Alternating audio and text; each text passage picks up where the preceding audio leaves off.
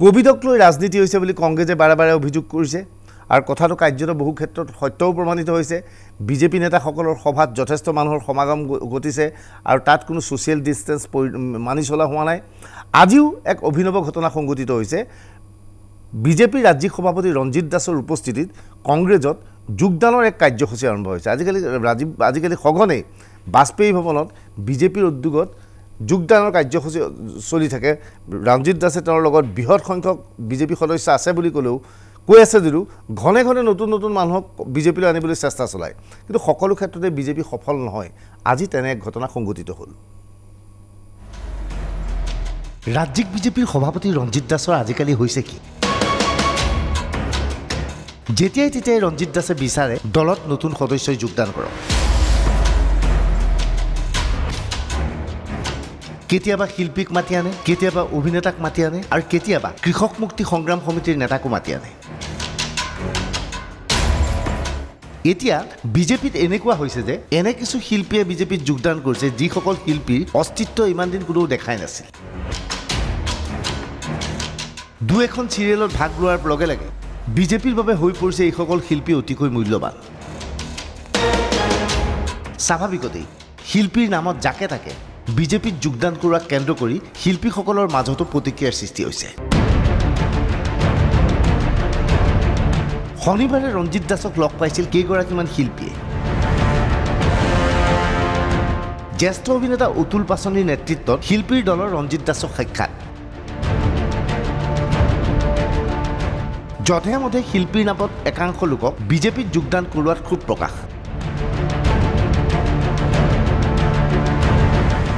শিল্পীৰ দলটোৰ মতে এনে কাৰ্যৰ ফলত বিজেপিৰ পদমৰ্যাদা হ্ৰাস পাইছে। উল্লেখযোগ্য যে শেহতীয়াভাৱে বিজেপিৰ সভাপতি ৰঞ্জিত দাসে কংগ্ৰেছৰ সমান্তৰালভাৱে বহু শিল্পীক যোগদান কৰাইছিল। সীমান্ত শেখৰৰ পৰা আৰম্ভ কৰি এনে কিছু শিল্পীয়ে অংশগ্ৰহণ কৰিছিল যিসকল শিল্পীক অসমৰ কোনেও চিনিয়েই নাপায়। অথচ বিজেপিৰ বাবে আছিল ডাঙৰ খবৰ।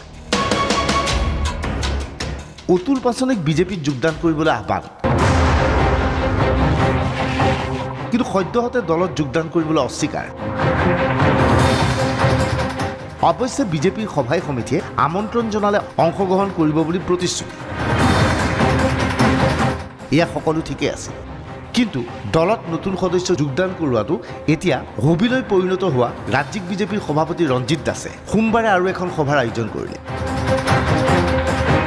এয়া সোমবাৰৰ সভাৰ দৃশ্য। ইজনৰ পিছত সিজনকৈ সদস্য এইদৰে গেৰুৱা বসন পৰিধান কৰাইছে ৰঞ্জিত দাসে।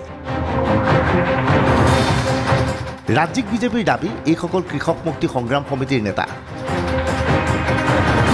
ইয়াৰ মাজত লখিমপুৰৰ কৃষক মুক্তি সংগ্ৰাম সমিতিৰ নেতা লেখন হাজৰিকাও আছিল। কিন্তু লেখন হাজৰিকাৰ এই পত্ৰখনলৈ মন কৰক কেইমাহমানৰ পূৰ্বে লেখন হাজৰিকাই এই চিঠিখন লিখিছে কৃষক মুক্তি সংগ্ৰাম সমিতিৰ নেতৃত্বলৈ। চিঠিখনত লেখন হাজৰিকাই স্পষ্টভাৱে কৈছে তেওঁ ব্যক্তিগত কামত দলৰ পৰা পদত্যাগ কৰিছে। অৰ্থাৎ বৰ্তমান কৃষক মুক্তি সংগ্ৰাম সমিতিৰ সৈতে কোনো ধৰণৰ সম্পৰ্ক নথকা লেখন হাজৰিকাক কৃষক মুক্তিৰ নেতাৰূপে পৰিচয় দি ৰঞ্জিত দাসে বিজেপিত যোগদান কৰাইছে। লখিমপুৰৰ কৃষক মুক্তিৰ নেতা লেখন হাজৰিকাৰ বিজেপিত যোগদান।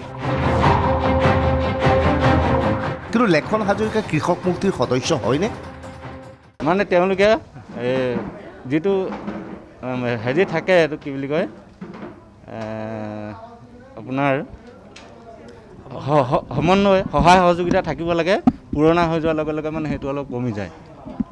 আৰু তাতে তেনেকুৱা জেগাত থকাতকৈ নথকাই ভাল। মই দুহেজাৰ আঠ চনৰ পৰা। অঁ। মই এই লকডাউনৰ আগে আগে। আপুনি এক ফেব্ৰুৱাৰী দুহেজাৰ বিছ তাৰিখে আপুনি কি আপোনাৰ নিজৰ হস্তাক্ষৰ এখন চিঠি লিখিলে? আপুনি ফেব্ৰুৱাৰী মাহৰ এক তাৰিখে আপুনি হয় হয় হয়। নতুন ত্যাগ কৰিলে। হয় হয়। কিহৰ কাৰণে ত্যাগ কৰিলে? নাই সেইটোৱে আচলতে মই তাত যিটো দিছোঁ মই ঘৰুৱা অসুবিধা বুলি দিছোঁ। এইখিনি সময়তে ডি ৱাই থ্ৰী ছিক্স ফাইভৰ সাংবাদিকে বিজেপিৰ এই অংশগ্ৰহণ অনুষ্ঠানত দলত যোগদান কৰা এনে কিছু সদস্য পালে যি সদস্যৰ কাম কাজ দেখিলে আপুনি হাঁহিবই নে কান্দিবই ধৰিব নোৱাৰিব। বিজেপিৰ গেৰুৱা বসন পৰিধান কৰা এই যুৱকজনলৈ মন কৰক। হাফ পেণ্ট এটা পিন্ধি আহিছে বিজেপিৰ কাৰ্যালয়লৈ। আৰু এওঁ সসন্মানে ৰঞ্জিত দাসে গামোচা আৰু টুপি পিন্ধাই বিজেপি দলত আদৰণি জনাইছে। এতিয়া এওঁলোকৰ ভাষ্য মন্দিৰ শুনক। মই নাই মই মানে ইমান ইয়াতে অহা নাই আজি ফাৰ্ষ্ট টাইম আহিছোঁ। মই ইমান এইটো বিষয়ে নাজানো মোৰ লগৰ ল'ৰাবিলাকে লৈ আহিছে। সেইটোৱে বাছ মই আৰু ইমানখিনি মানে আৰু কথা বুজি নাপাওঁ। লগৰ ল'ৰা লৈ কি বুলি কৈ লৈ এইটোৱে কয় কৈছে কিবা মিটিং আছিলে সেইটো কাৰণে লৈ আহিছে। কোনে আনিছে তোমাক? মোৰ এই লগৰবিলাক আছে তাতে বহি আছে সিহঁতে লৈ আহিছে। কি বুলি কৈ আনিছে? মিটিং থকা বুলি কৈছে হেৰি কিবা মিটিং কিবা লৈ আহিলে কিয় বা লৈ আহিলে সিহঁতৰ লগত আহিলোঁ আহি কিনে ইয়াতে সোমাই গ'লোঁ। তোমাৰ নাম কি? মোৰ নাম প্ৰদীপ দাস। প্ৰদীপ দাস। ঘৰ ক'ত? ঘৰ নুনমাটি।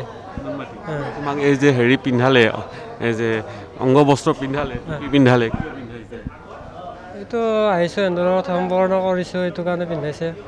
হয়। কোনে পিন্ধাইছে তোমাক? মোক এতিয়া হেৰিহঁতে পিন্ধাইছে। তুমি আগতে কোনটো সংগঠনত আছিলা? নাই নাই নাই সংগঠন নাই। এই ফাৰ্ষ্ট আহিছোঁ। আজি ফাৰ্ষ্ট আহিছোঁ। কৃষক মুক্তি নাছিলা? নাই নাই নাই মই নাছিলোঁ আজি ফাৰ্ষ্ট আহিছোঁ। বৰ্তমান আৰু মাতিছে লগৰবিলাক এইটো কাৰণে আহিছোঁ। হিৰামজ্যোতি কলিতা? হয় ক'ৰ পাৰিছা বাপিজনগৰ। ঘৰ মোৰ নুনমাটি বাপিজনগৰ অঁ। হয় নেকি? হয়। কোনটো সংগঠনৰ লগত জড়িত তুমি? আগতে কোনটোৰ লগত আছিলা? মই আগতে নাছিলোঁ এইটো এইটো প্ৰথম হয়। প্ৰথম মই জাষ্ট আজি যোগদান কৰিলোঁ। মানে ভাবি আছিলোঁ যোগদান কৰিম বুলি। ভাবিলোঁ আজি চান্স পালোঁ কৰি লওঁ সেয়াই আৰু মই বেছি নকওঁ এইখিনিয়ে ক'লোঁ আজি যোগদান কৰিলোঁ। মানে ভাবিছোঁ পিছলৈকে যাই থাকিম। মই এইখিনি ভাবিলোঁ আৰু এইখিনিয়ে মই কওঁ। এয়া হৈছে বিজেপিৰ ভিতৰুৱা কাণ্ড। ৰঞ্জিত দাসৰ হৈছে কি? কিয় যাকে তাকে বিজেপিত যোগদান কৰাব বিচাৰিছে? অথচ এইজন ৰঞ্জিত দাসে বিভিন্ন সময়ত দাবী কৰে অসমত বিজেপিৰ লক্ষাধিক সদস্য আছে। এই লক্ষাধিক সদস্যৰ জোৰত বিজেপি পুনৰ চৰকাৰলৈ আহিব। তেনে অৱস্থাত এনেধৰণে সদস্য যোগদান কৰাৰ উদ্দেশ্য কি? Bureau report D Y three six five.